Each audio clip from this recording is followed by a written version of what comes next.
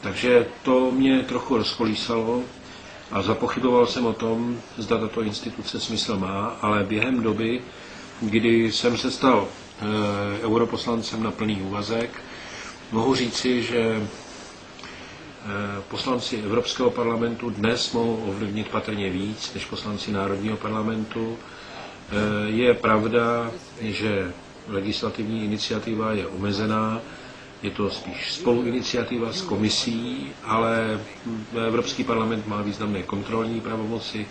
Řadu věcí může v tom legislativním procesu ovlivnit pozměňovacími návrhy a e, těžiště práce europoslance je ve výborech a v kuloárech. Mohu říci, že opravdu ta práce je zajímavá a já e, jsem v této činnosti spokojený, velmi se mi zdá to, co tam dělám, zajímavé, jsem spokojenější, než jsem byl v Národním parlamentu, pokud jde o e, politickou kulturu, úroveň diskusí a náplň mé práce.